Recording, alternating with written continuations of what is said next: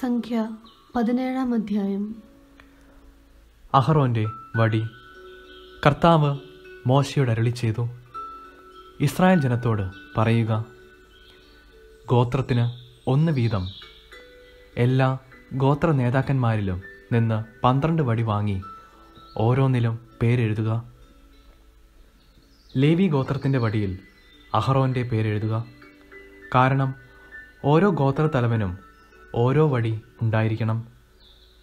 സമാഗമ കൂടാരത്തിൽ ഞാൻ നിങ്ങൾക്ക് ദർശനം അനുവദിക്കുന്ന സാക്ഷിപേടകത്തിന് മുമ്പിൽ നീ അവ വയ്ക്കണം. ഞാൻ തിരഞ്ഞെടുക്കുന്നവന്റെ വടി തളിർക്കും. അങ്ങനെ നിങ്ങൾക്കെതിരായുള്ള ഇസ്രായേൽ ജനത്തിന്റെ പിറുപിറുപ്പ് ഞാൻ അവസാനിപ്പിക്കും. മോശ ഇസ്രായേൽ ജനത്തോട് സംസാരിച്ചു. എല്ലാ ഗോത്ര തലവന്മാരും ഗോത്രത്തിന് ഒരു വടി എന്ന കണക്കിൽ പന്ത്രണ്ട് വടി മോശയ്ക്ക് കൊടുത്തു. അഹ്റോന്റെ വടി മറ്റ് വടികളോടൊപ്പം ഉണ്ടായിരുന്നു. സാക്ഷി കൂടാരത്തിൽ കർത്താവിന്റെ മുമ്പിൽ മോശ വടികൾ വച്ചു. പിറ്റേ ദിവസം മോശ സാക്ഷി കൂടാരത്തിലേക്ക് ചെന്നു. ലേവി കുടുംബത്തിനു വേണ്ടിയുള്ള അഹ്റോന്റെ വടി മുള പൊട്ടി പൂത്തു തളിർത്ത് ബദാം പഴങ്ങൾ കായ്ച്ചു നിന്നു മോശ വടികൾ കർത്താവിന്റെ സന്നിധിയിൽ നിന്നെടുത്ത് ജനത്തിന്റെ അടുത്തേക്ക് കൊണ്ടുവന്നു.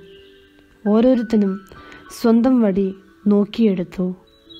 കർത്താവ് മോശയോട് അരളി ചെയ്തു അവരുടെ പിറുപിറുപ്പ് അവസാനിപ്പിക്കുന്നതിനും അവർ മരിക്കാതിരിക്കുന്നതിനും കലഹക്കാർക്ക് ഒരടയാളമായി സൂക്ഷിക്കുന്നതിനും വേണ്ടി അഹരോന്റെ വടി സാക്ഷ്യപേടകത്തിനു മുമ്പിൽ വയ്ക്കുക. മോശ അപ്രകാരം ചെയ്തു. കർത്താവ് കൽപ്പിച്ചതുപോലെ അവൻ പ്രവർത്തിച്ചു. ഇസ്രായേൽ ജനം മോശയോട് പറഞ്ഞു ഇതാ ഞങ്ങൾ മരിക്കുന്നു. ഞങ്ങൾ നശിക്കുന്നു. ഒന്നൊഴിയാതെ ചത്തൊടുങ്ങുന്നു. കർത്താവിന്റെ കൂടാരത്തെ സമീപിക്കുന്ന ഏവനും മരിക്കുന്നു.